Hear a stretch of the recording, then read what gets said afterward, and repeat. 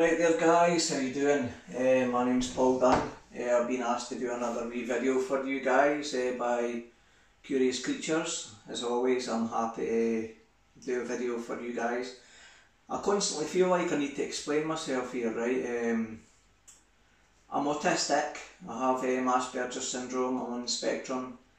Um, so for me, keeping these snakes, I'm a snake keeper, I'm a snake handler, I do all that stuff. All the nitty gritty stuff, um, I've, I've researched it and researched it and researched it over the years. But for some reason I can't seem to store a lot of the information, so I've got my notes written down.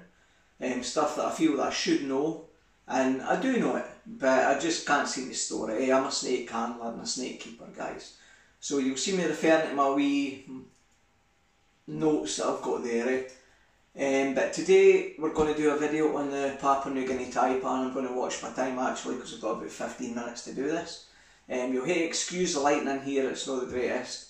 Um, but I've got a Papua New Guinea taipan in here, Oxyuranus scutellatus canni. Um, these are classed as the third most venomous snake in the world, um, with some people even classing it as the most venomous snake in the world. Um, so I'll get her out. I've got my my notes here. So you'll see me referring to my notes. Eh? I know it doesn't look very professional, but sadly that's the way it is for me. Um, but here we go. As always, don't try this at home. But I'll get her out. She'll probably give me the run around. She's quite quick. Um, but guys, this is Patch. She is. She was born in 2019, around about March. Come on, come on, girl, come on. So yeah, this is this is Patch. I don't know if you'll see her too well, but um, this is Papua New Guinea taipan. She is a form uh, coastal taipan. Um, coastal taipans are from Australia, but there is the Papua New Guinea version, which is this one here. These are my favourite species of the taipan. Um, the coastal taipan is the longest venomous snake in Australia. Um, see now I'm looking up at my notes already. Uh, they can grow anywhere from 4.9 to 6.6 feet in length. Um, and the longest ever recorded coastal taipan was 9.5 feet. Um, these guys, this girl is from Papua New Guinea and these are found throughout Papua New Guinea and uh, tropical rainforests, stuff like that. Um, I had a wee look and I should have wrote it down, all the places where they like to inhabit. Um, these guys feed on mice, rats and bandicoots and also birds. Um, she, she was eating chicks. So I reckon if they were able to catch a bird, they would catch a bird. Um, they're mainly diurnal, or diurnal however you say it, um, which means they're active during the day. Um, these guys are mostly active in the early morning to mid-morning. But in the hotter weather, they could, what's the word, they can become nocturnal. So if it's scorch you outside and it's too hot, they'll just hunt at night time when it's dark and cool. Um, when hunting, they'll seek out their prey. When they find their prey, they'll lace up and they'll deliver several strikes. Um, this really isn't a snake that you want to get bitten by, so the prey really does succumb very, very fast. As I say, these are number three in the world. You've got the inland taipan, you've got the brown snake, and then you've got the coastal taipan. But there is some people out there that claim that this is indeed the most venomous snake in the world. But either way, taipans have the number one spot. Um, a wee example, um, a single drop of inland taipan venom can kill 100 grown men or 250,000 mice. So it gives you a little idea on just how toxic these snakes actually are. Um, right, this is the wee bit that I struggle with, right? So I've got all written down for you guys, right? my, my head works, this is venomous, if it bites you, you die. This is the third most venomous snake in the world. If it bites me, I die quick. um, that's the autistic brain for you. Um, but I've written it down, right? So the venom contains primarily taipoxin, right, which is a highly potent neurotoxin and it affects the nervous system and the blood's ability to clot. Right, effects include headache, nausea, vomiting, collapse, convulsions, paralysis, internal bleeding, myolysis, destruction of muscle tissue and kidney damage. Um, in severe cases of envenomation, um, death can happen in as little as 30 minutes. They can kill you really quick. Worst case scenario, if you bit, kind of if it bit you and you went into anaphylactic shock, anaphylaxis can kill you very, very, very quickly. Like, um, these are not a snake to be bitten by. Usually, um, death can occur on average after about 2.5 hours. That's for Wikipedia, it says 2.5 hours. But that depends on the nature of the bite, and um, as I've said, how the victim reacts to the bite as well. Um, so as I say, if you go into anaphylactic shock, anaphylaxis is a huge killer, and it could kill you in seconds. It really can. Um, taipans are usually a very, very nervous and twitchy snake. In inland's not so bad, um, but what I found about the Papua New Guinea taipan, they're very twitchy. Very, very fast, very twitchy. So slow movements where um, I like to keep everything nice and easy.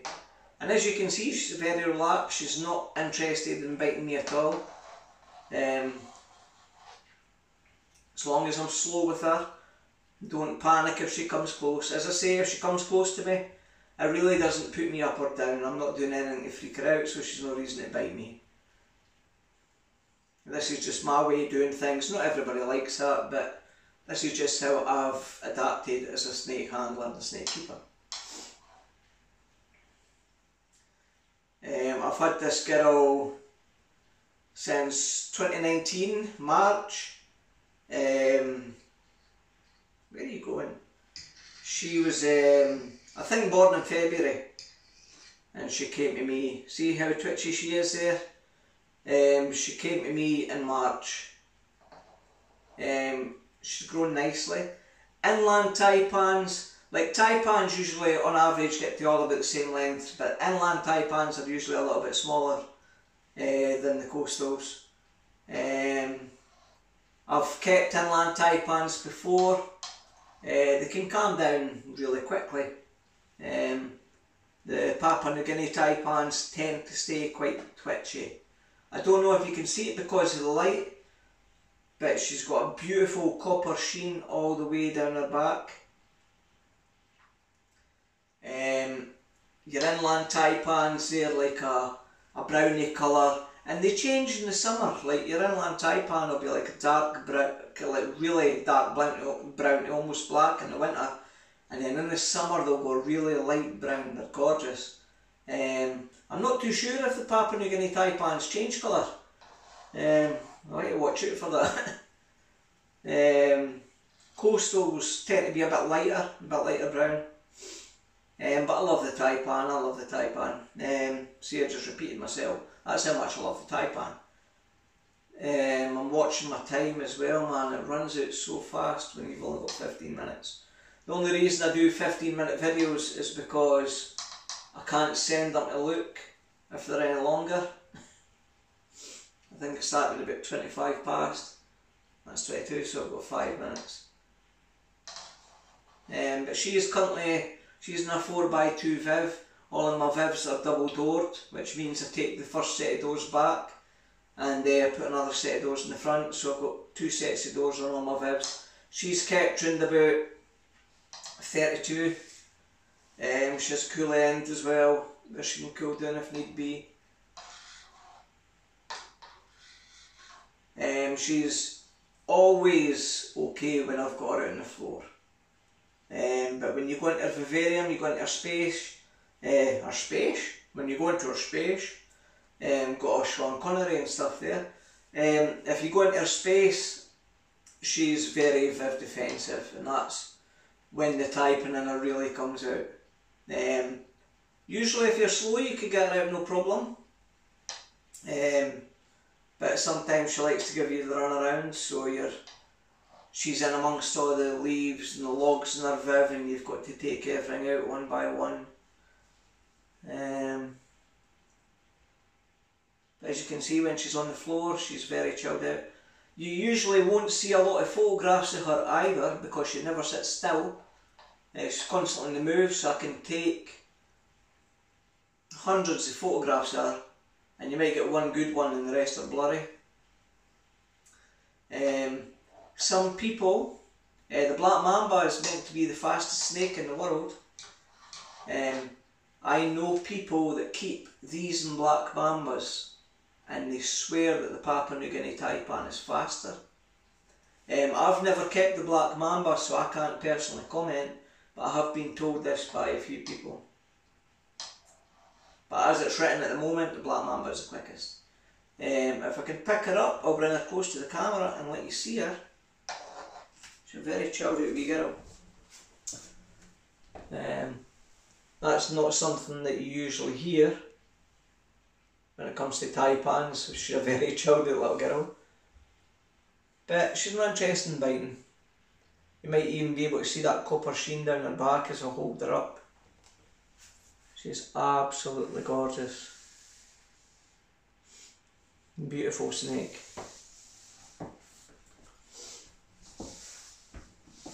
Alright girl. But she's no interested in biting me. As long as I'm slow with her. See I'm not giving I'm not giving her a reason to bite me. I'm slow with her, I'm relaxed, I'm not panicking.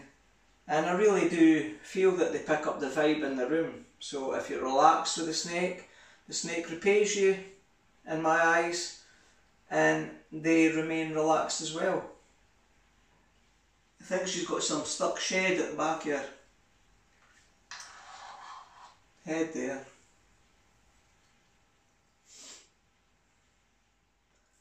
But yeah, a single scratch for this snake. This snake doesn't even have to give you a full on bite.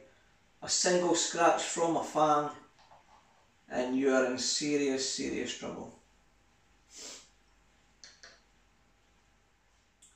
But guys, I can't get enough of it. I love it. People ask me if I got an adrenaline rush. I really don't. What you see is what you get. Um, this is how I do things on camera. This is how I do things off camera. This is just my way of handling. Um, some people don't like what I do because I'm different.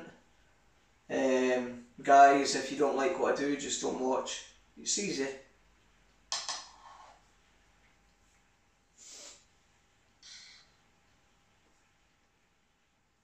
But yeah, this is Patch, and she's a Papua New Guinea taipan. World's most venomous, or the third most venomous snake as it's written. But yeah guys, I hope you enjoyed my video. Um, I think that's me approaching 15 minutes now. Um, but guys, please don't try any of this stuff at home. Um, you probably not got a taipan anyway, but you know, I always like to just say don't try this, but yeah, don't try this at home. But see, I'm stumbling for stuff to say now. Uh, autism and talking on camera just don't mix. This is all quite new to me. But yeah guys, uh, I hope you enjoyed my video. Um, if you enjoyed it, please give it a like, give it a share, give it a heart. Um, tell your friends about it. Watch it when you're bored. Um, I've got a YouTube channel, if you just type my name into YouTube, you'll find my YouTube channel. Um, but guys, that's my time running out, uh, so I'm going to head off, I'm going to put it back. Uh, take it easy, keep safe, and hopefully do another video for you guys soon. Peace.